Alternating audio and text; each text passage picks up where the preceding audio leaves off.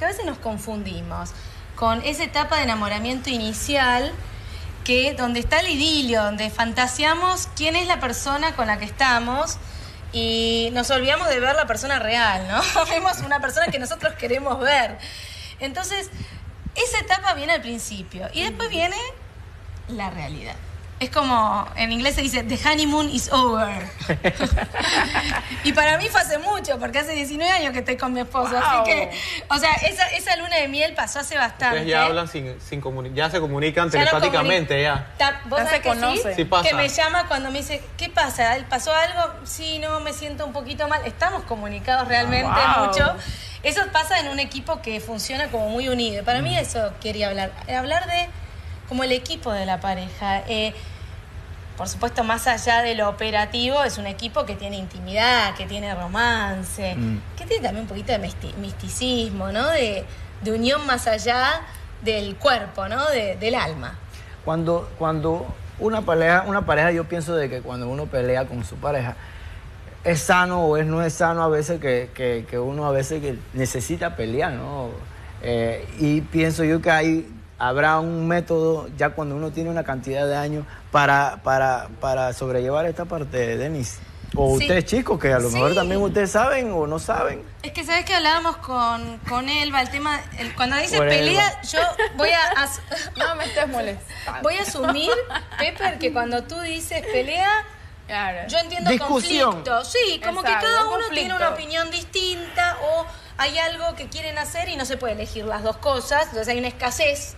O sea, cuando hay un conflicto, está buenísimo, es una excelente oportunidad para aprender. El problema es que creemos que el conflicto es un problema y lo tenemos que evitar. Algunos lo evitamos para que el otro no se enoje. Error. Porque lo que más nos lo que nos pasa es que dejamos de decir lo que queremos. y se va armando. Y se va armando un conflicto peor. Yo creo que, después, después, la bomba, eh, o como dice, que bueno, que yo estoy explotando de. Porque entonces tienes porque todo eso. Esto, esto, esto, y salen todos los temas que no hablamos en el momento que, como, como comentábamos, yo siento que hay que comunicarse, siento que hay que hablarlo, como me decías, Denise, en el momento en donde, en donde pasa la situación. O sea, o una vez que ya todo esté calmado, como decimos baje la marea, entonces hablar con la persona diciendo, me gustó esto, eh, puedes cambiar esto, o puedes, eh, o sea, puedes ayudar a la relación en cuanto a este tema para que no se vuelva a repetir. Sí, y lo que, lo que por ahí les puedo ayudar es cómo manejar el conflicto de manera efectiva y amorosa. Primero, como dijimos, una vez que te sientes mal con algo, es decir, ¿sabes qué? Esto me está haciendo sentir mal y quiero entender un poquito más contigo qué podemos hacer para mejorarlo.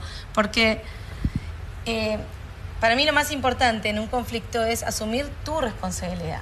Como que el otro no me hace sentir mal. Lo que el otro hace a mí me pone triste.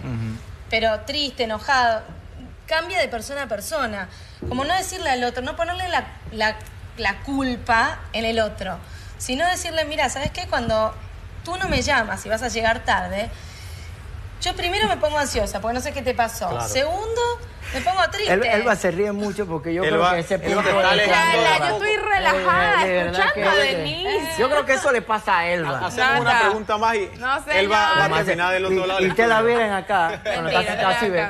Voy a la cámara del sabe, cuando Denis me presentó el libro, yo me acordé de una canción, casualmente un grupo argentino, que dice, cuando el amor se cae, todo alrededor se cae. O sea, como que todo se destruye en la relación. Y cómo, casualmente el libro habla de cómo tú recuperas eso, cómo tú vuelves a construir. Sí, en realidad, y además cuando, imagínate que tengas hijos, lo feo y lo, no solo feo, sino lo inseguro que es para un niño ver a sus padres peleando y no escuchándose y hablando por sobre el otro.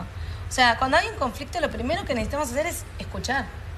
Es decir, ¿qué te pasa con esto? O sea, yo me siento mal. ¿Tú cómo te sientes? Porque lo primero que queremos hacer es decirle, yo me siento mal, quiero que cambies, quiero que hagas esto. No. Es, yo me estoy sintiendo mal con esto que estamos pasando. ¿Tú cómo te sientes? Silencio. y después seguimos.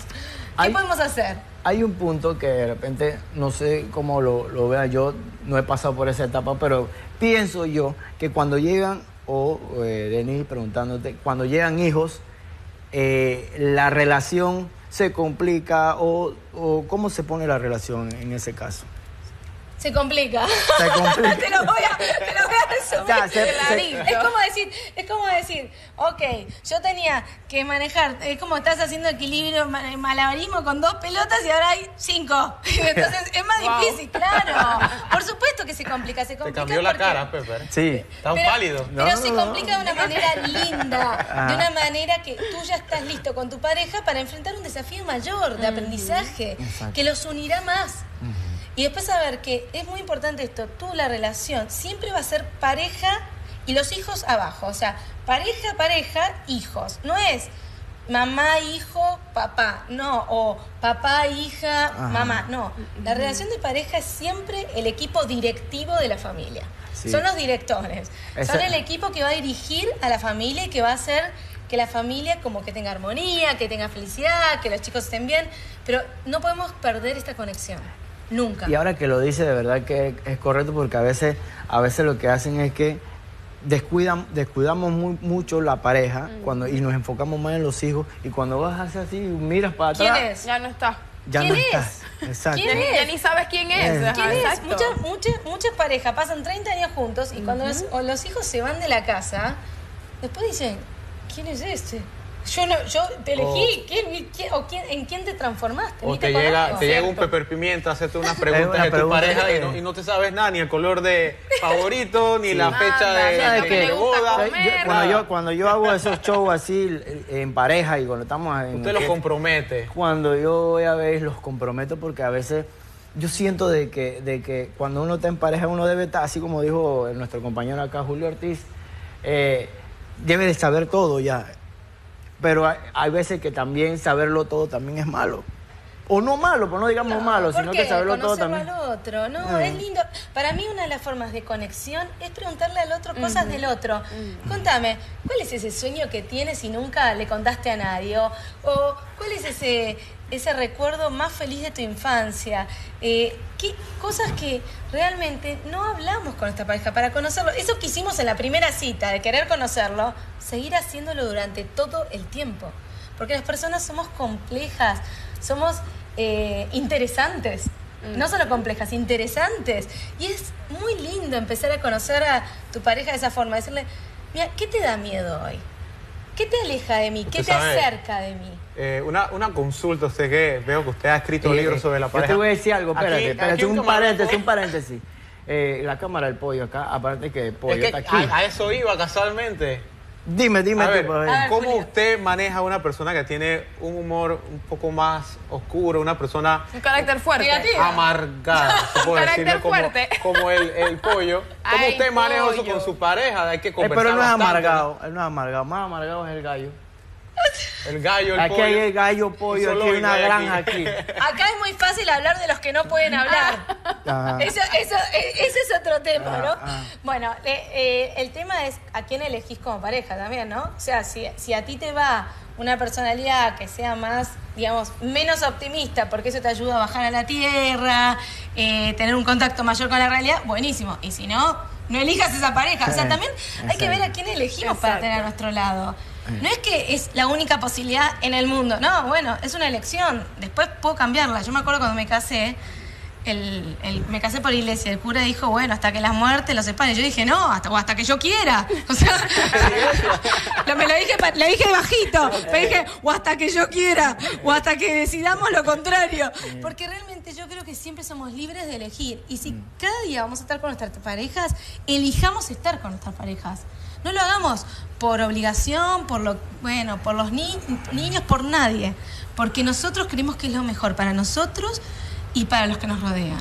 Yo siento que también, aportando también a lo, a lo que estás diciendo, Denise, yo pienso que también ser feliz es importante para hacer feliz a la otra persona o a las personas que uno quiere, ¿me entiendes? Porque no es cuando, no es de que, bueno, yo quiero ser feliz contigo, ni no, no.